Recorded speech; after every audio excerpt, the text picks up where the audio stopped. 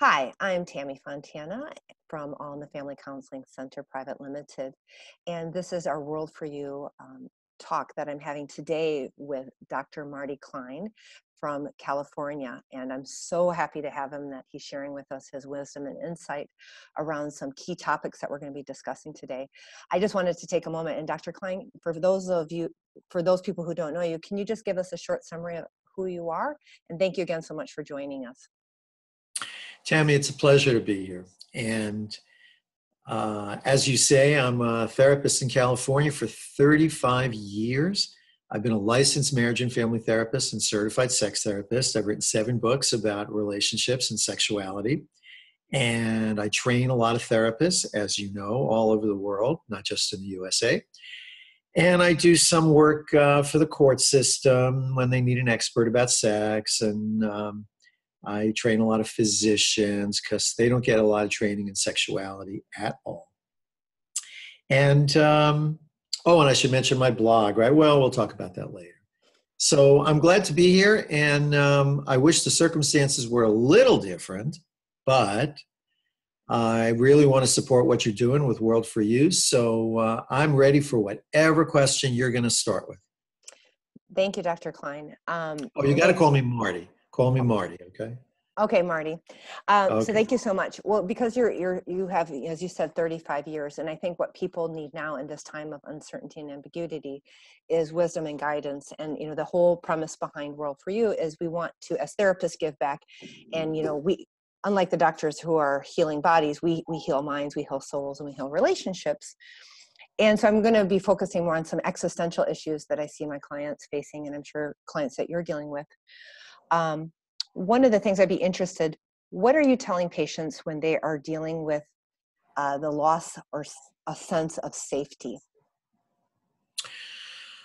Uh, let's really get down to the hard questions first, okay? Um, well, you know, as we go from being children, when we're actually not entirely safe because we're so dependent, to being teenagers where we like to believe we're safe, but we're still not entirely safe, to adulthood, where we're really in charge of our own sense of safety. Uh, the, the task of establishing a sense of safety is a lifelong task. Starts in childhood, and it's a lifelong task. How are you going to feel safe? And as we get older, the challenges change, um, but the task remains the same. How am I going to feel safe? And how am I going to feel safe in an uncertain world? Because I don't know if anybody remembers before the virus, such a long time ago, but there was a lot of uncertainty before the virus. Remember? There was a lot of uncertainty, whether it was about our jobs, whether it's about our, our marriages or our kids or our health or the health of the people we love. There was a lot of uncertainty. But because most of us had a routine, we were able to feel much more comfortable with the uncertainty. One of the issues that we're all facing with the virus now is that we've been pushed out of our familiar routines. I don't know if our viewers know just how much you love to exercise, Tammy, um, but you've really, I'm imagining, I haven't even asked you, you've really had your exercise routine changed, right? And I've had my work routine changed. We've all had our routines about raising our kids changed and even what do we eat? Because we a lot of us can't depend on getting fresh produce every day now. So yes the world has changed. The developmental challenge has not changed. How do you feel safe in an uncertain world? And for some people they just use a lot of denial. Um, it works in the short run, not very good in the long run. So some people use denial. Some people drink too much. That's their way of dealing with an uncertain world. Some people, they pick a lot of fights with the people they live with. That's their way of dealing with their anxiety about living in an uncertain world. Um, I think it helps to remember who you are and it helps to remember what your values are. And for those of us who can't use the same old ways of knowing who we are, we have to find new ways. So if if if your way of knowing who you are is by being um, active outside all the time, skiing in the winter and uh, bicycling and running and doing all that stuff, and now you can't do that, okay, what are you going to do on a regular basis that's available to you right now with the lockdown that makes you feel, yeah, I'm being me? That reminds you, yeah, this is who I am. Maybe it involves reading. Maybe it involves reaching out to somebody who's um, who's a shut in. Maybe it involves a new kind of conversation with the people we uh, we care about, or dealing with your kids um, in a more focused way. So I think that's one tool that people can use to get through this version of uncertainty, which is to find ways of remembering who you are. That's really wonderful. Yeah, to remember who you are. And and I think um, if you're uncertain about who you are, because I know that's one of the tasks that I'm often helping clients work on, you know, this is something then to reach out um, for a therapist or somebody to to discover who you are. Because yeah, crises often reveal sides of us uh, that weren't there or that we don't know about. So I think that's a, a wonderful way to do it.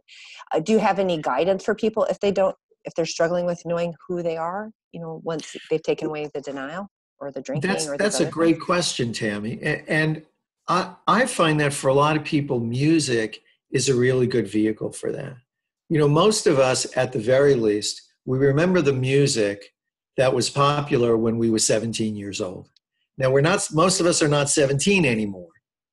But at the very least, if you listen to a little bit of music from a period in your life when you were happy or when you were engaged with the world or when you felt optimistic or when you felt um, you have a lot ahead of you to look forward to, I think that's a good reminder. That said, I don't think we should only listen to the music that was popular when we were 17. Um, I, I am quite devoted to music, and, and I'm always encouraging people to find music that they enjoy listening to. And then uh, I ask my patients, okay, uh, whatever music you like, doesn't have to be what I like, but whatever music you like, like what do you like about that? And how does it make you feel? You know, what you think about it is totally different than how you feel about it. So, how do you feel when you listen to this music? For some people, you know, they just can't help moving their bodies when they're listening to music, and that's a great thing. And for other people, they listen to a, a sad song or a happy song, either way, and they feel, yeah, that person understands how I feel. Whether it's feeling bad or feeling good, everybody likes to feel like they're not the only one. Everybody likes to feel connected whether they feel bad or good.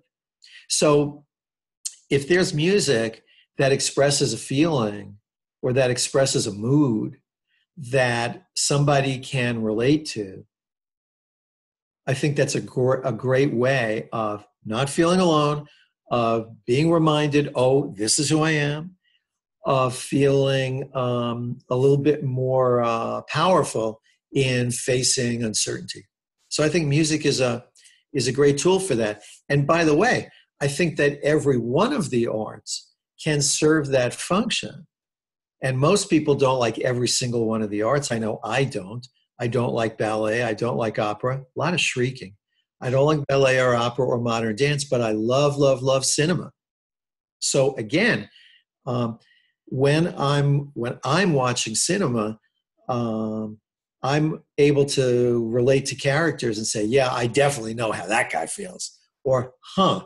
So I'm not the only one who feels, say, unattractive, or I'm not the only one who feels everybody else is in better shape than I am, or whatever it is. And I think that the great thing about the arts, and I don't mean this in some highfalutin way, I mean any kind of artistic expression, the great thing about it is that people can pick an art form, whether it's cinema, whether it's painting, whatever it is, and have a relationship with the people who create the art that you like. So, in the world of cinema, for example, I feel like I'm in a 50 year relationship with Alfred Hitchcock. Now he's dead now, but his films live.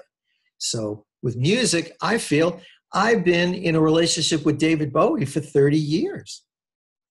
I feel like I've been in a relationship with Jimi Hendrix since 1968. And people can like different kinds of cinema, people can like different kinds of music or paintings or whatever it is. Find, um, find an artist of whatever the medium, find an artist and connect with that artist and be curious about what that artist has to say about human feelings, about human experiences. Yeah, I love that. I know in, in, our past discussions you had talked to me about that, and my my preferred is uh, poetry because poetry mm-hmm. um, captures expression and feelings, and uh, and it really can touch you and move you and, and, capture things. And I think that's great about developing a relationship and helping us to remember who we are or find find different modes to remind us of who we are if, if that's something that's a bit lost right now. Um, uh, I want to, unless you have something before, else to add. Before, before mm-hmm. you leave that, before you leave that, poetry is such a good example. Now, I'm going to confess, I hope this doesn't change your opinion about me, Tammy. I'm not a big poetry fan. I got to admit. I also understand that poetry can really resonate for people, and that's great. Um, when we talk about remembering who you are, you could read a poem, and it might be about something totally not your experience, but you could be touched by it because of the skill of the poet in evoking um, someone else's experience. And when we when we get touched by a poet or a musician, say a poet, when we get touched by a poet's description of sadness or a poet's description of childbirth or a poet's description of loss or whatever it is, even if it's not your experience, when we get touched, we get to say to ourselves, yeah, this is who I am. I can be touched. I can be touched by a poem. Isn't that glorious? And I think what you're saying too, it's really nice that, and, and what we really need to be reminded of is, uh, is the need to be connected with everybody, especially now this mm-hmm. COVID is such a socially isolating um, disease. virus disease and and people we're social beings and so i think again it's how do we stay connected in one shape or form whether it's through the arts mm-hmm. whether it's through video mm-hmm. calls uh, whether it's mm-hmm. volunteering or donating but the, the, connection is also so important in just how you do it um, mm-hmm. I, I wanted to shift a little bit just being in mind of, of the time because i'm so grateful for the the um, time that you're giving to this is another kind of existential theme i'm seeing people deal with is powerlessness. Um, you know, the powerlessness coming from the inability to move, the powerlessness. I have a lot of clients whose families are in other countries that they're no longer able to travel to.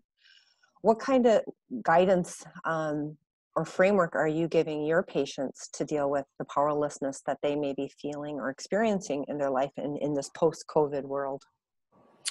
Boy, that really is the, the question of the hour, isn't it? And you framed it so nicely, Tammy. Um, let's let's back up a half a step before we talk about powerlessness. I want to talk about autonomy. You know, children children are dependent on their adult caregivers, and some of us have better adult care, caregivers than others. In adolescents, they dream of autonomy, and young adults they go out there and they enjoy their autonomy and um, they always overestimate how much they have, but okay. And as people go through adulthood, we kind of establish um, an understanding of how much autonomy is reasonable to expect today and tomorrow. So, whether it's how easily it is to move around our world geographically, um, whether it's um, how much autonomy I have to express myself in a relationship, whether it's how much autonomy I have about deciding how I want to spend my money, how much I want to spend, when I'm going to spend it, um, how I'm going to spend it. Every adult comes to um, take for granted how much autonomy they have. And in different cult- countries, in different cultures, in different um, income levels. People experience different levels of autonomy. But no matter how much autonomy, emotional autonomy, or uh, uh, social autonomy people have, they come to take it for granted. It's one of the great luxuries of adulthood.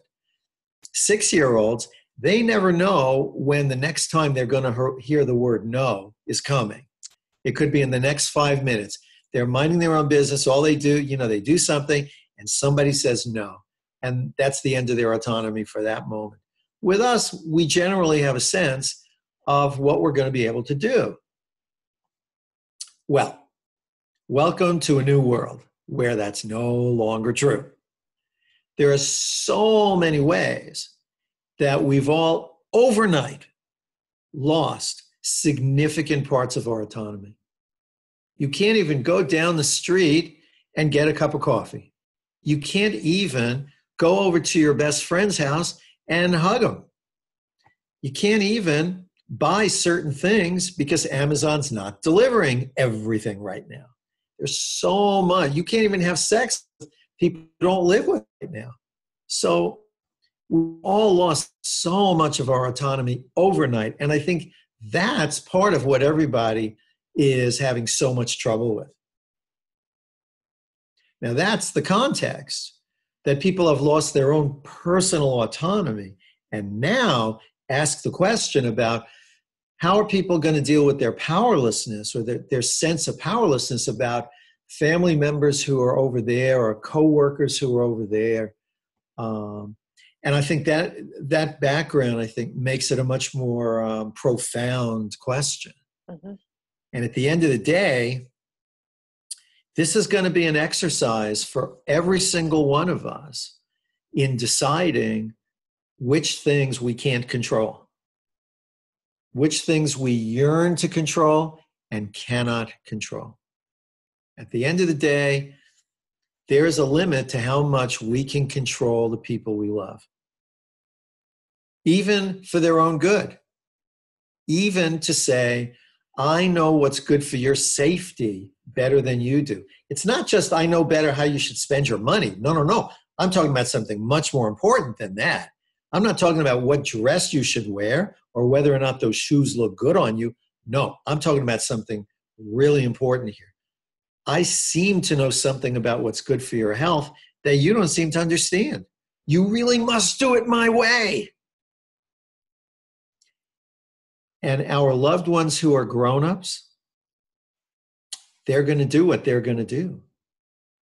And it's our grief to stand by and watch them put their health at risk. And we can be as persuasive as we like, we can be as charming, we can even be as manipulative as we like.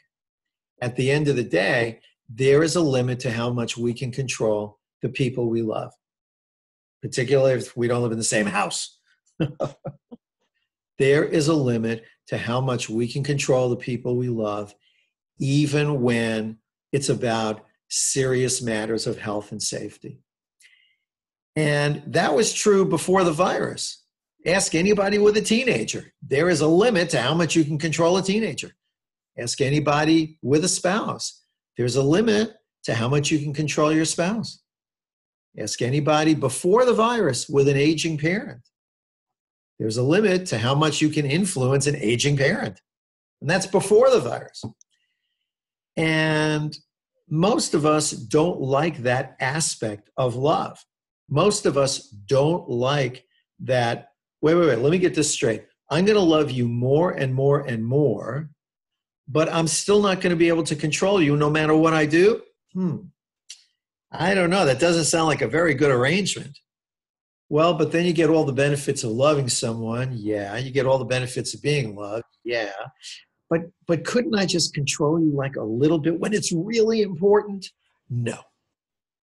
And most of us never really come to terms with that. Some of us get closer than others. Um, my mother, you know, with whom I had a very close relationship, she would get nervous the more successful I got. So I would fly around and lecture in these different places and go to unusual country. Well, not unusual country. Go to countries with which she was not familiar. That sounds better, doesn't it? um, and she would get nervous. She would get nervous. She would say, "You know, I get nervous when you travel to to Ukraine. I get nervous when you travel to uh, uh, to China. Back in those days when nobody went to China, I get nervous when you go to to this place or that place. I get nervous when you go to Alabama, which for most of us in America is kind of like going to China. Um, and I would say, Yeah, I, I understand that you get nervous. And she would say, Well, won't you please not do that? And I would say, No, I'm not going to not do that. And she'd say, Well, don't you care that I'm in so much uh, distress about this? And I would say, Ma, I love you until the end of time. I do care about your distress. I'm just not willing to do anything to take it away. So she really wished, not in a to control me, but not in a bad way, in a loving way. And um, but at the same time, you know, we want our kids to to thrive and to have independence and all of that. Um, so I, I think the sense of powerlessness that we have now it's not that unusual. It's just that we're more aware of it. And we think the stakes are so much higher now. The stakes are higher in the real world, but emotionally, the stakes are exactly the same, which is um, I love you so much. Can I tell you what to do when something is really important to me? Yeah, I think that the that the coronavirus or COVID 19 is helping a lot of people, whether or not they like it, they're being dragged into dealing with the realities of life and, mm-hmm. you know, you know autonomy issues powerlessness and, and just really how people human beings work that at the end of the day people have the right to self-determinate and love is not going to stop people from doing that no. so so so i think I think that thinking about, you know, the autonomy and as you mentioned at the beginning is thinking about the decision you're going to make. And it's often what we're talking about with our clients is at the end of the day, you have to make the deep internal decision about what are you going to do or what are you going to decide to control or what are you going to accept that you can't control. And um, some people will say, well, how, how, how do you do that? And, and there's really no how, you just have to, it's again, facing life and facing this is, this is, this is the truth. And then you make the decision and you'll figure out the how which is often dealing with the feelings. Yes, it's dealing with the feelings. It's not taking it personally. I mean, I know that nobody really thinks that the virus is like aimed at them personally.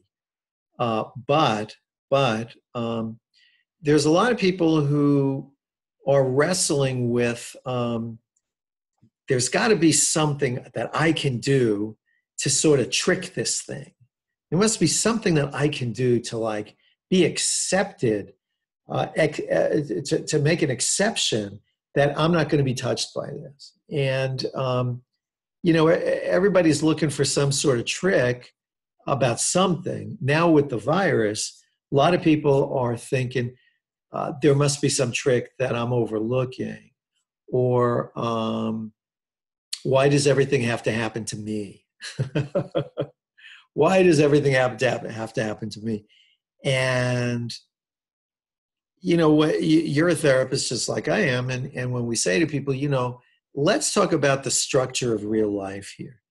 Eh, there's kind of rules about how human beings work, and there's rules about how the world works. You know, if you keep your agreements with people, mostly they'll keep their agreements. If you break your promises, generally somebody is going to complain about that. I mean, these are rules that we've learned about how people operate. And and learning to accept things that you can't control, that's an important skill. It's it's not, oh, you're lucky that you know how to do that. It's an important skill. And how do you do that is you ex- you begin to accept something you don't like and then you you be willing to feel the anguish i used to play tennis three times a week for 25 years and then i had knee troubles and the doctor said you can't play tennis anymore and so like any reasonable person i got angry at the doctor how dare you ruin my life you know um, so for me um, it took me it took me about a year to accept that I wasn't going to play tennis anymore. I held on to my tennis rackets. Um, I held on to them in the closet for about five years. About five years. During that first year, I couldn't I couldn't watch anybody play tennis down the street. I couldn't watch tennis on TV.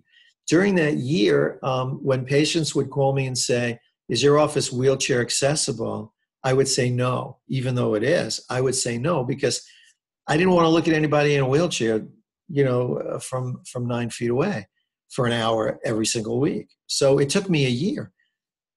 What I had to do was little by little feel the pain. And what was the pain like? I'll tell you what the pain was like. Number one, um, I'm losing something that I treasure.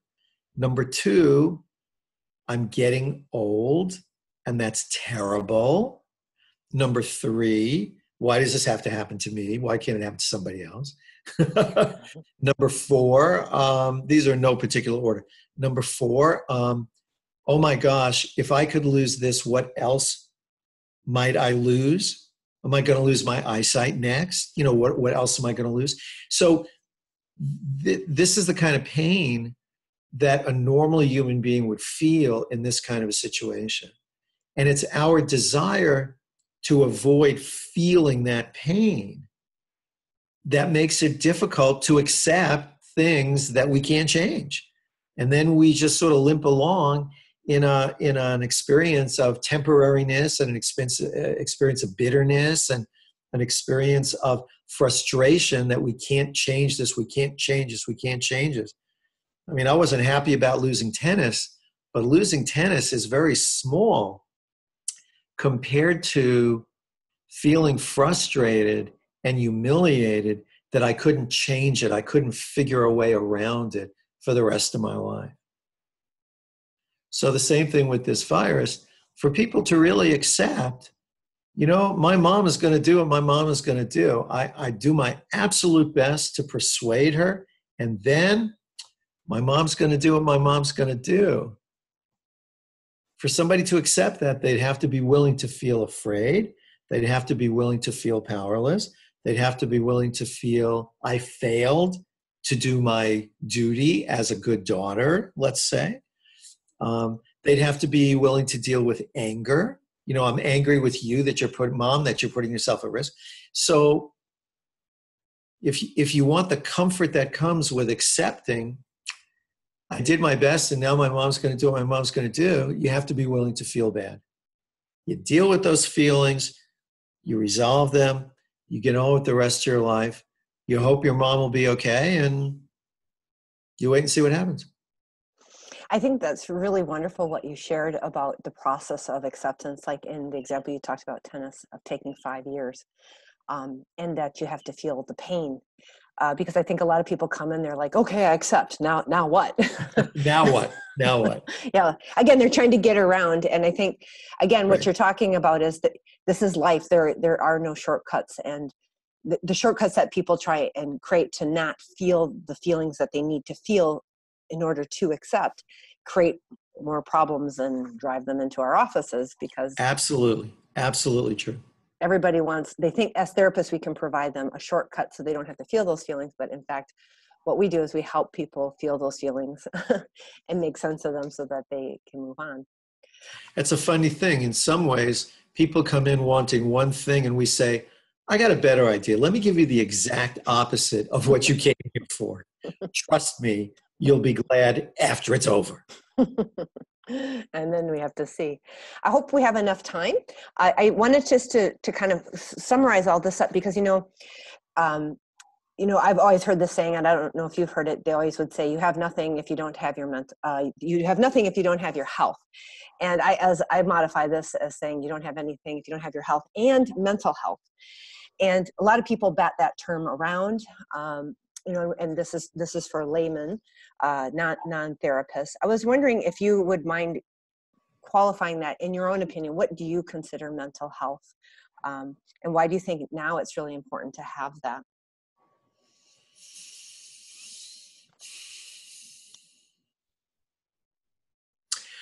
I think of mental health as a set of skills that you have in your in your briefcase or your toolkit a set of skills knowing how to deal with conflict knowing how to deal with disappointment knowing how to express anger in a reasonable way knowing when to not take something personally um, having empathy um, stuff like that so i think of mental health as having um, a set of skills and you never know which one of those skills you're going to need tomorrow.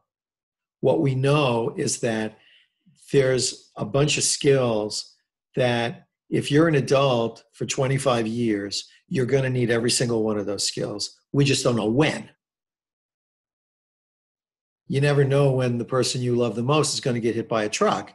You're going to need certain skills that you didn't need yesterday, certain emotional skills. So I think of mental health as a set of skills that people can access, that people can access when they need them. That's wonderful. That's um did you want to add something? I do want to add something. uh, and why do people need that especially now? I'll give you one one version of that. Um, I have a certain number of patients now who are thinking that, okay, this is a temporary little situation and we're going to get back to normal pretty soon. And then I can deal with everything that I need to deal with. But right now, I'm just going to kind of like try and hold my breath and just try and get through this. And I think this is real life right now. This is not um, a temporary aberration although we hope that the situation right now changes as soon as possible. But in terms of the need for good conflict resolution skills, the need to know how to listen, the need to be empathic, the need to not take things personally, all that, that has not changed. The ability to love without trying to control somebody, all those aspects of mental health, all those relationship skills, all the self care skills, um, the need for those things hasn't changed. So we need mental health now just as much as we needed it before this, and just as much as we're going to need it afterwards. And we need the same things. We need that skill set because right now, this is real life. This is not a timeout. This is real life right now. I think that's really important that yeah what what therapy and mental health provides is the ability to deal with real life to deal with life. And um, that's always the challenge uh, when we have crises you even need to you even need those skills more because it, you can get consumed with feelings that make it hard for you to to see things accurately. So having those tools to, to self-soothe to be self-reflective to identify a feeling from a fact are really important. Um, so Thank you so much, uh, Dr. Klein, for stopping today and helping us with the World for You uh, endeavor that we're doing to give people, you know, reaching out and, and connecting and helping them deal with this difficult time. I really, really appreciate it so much.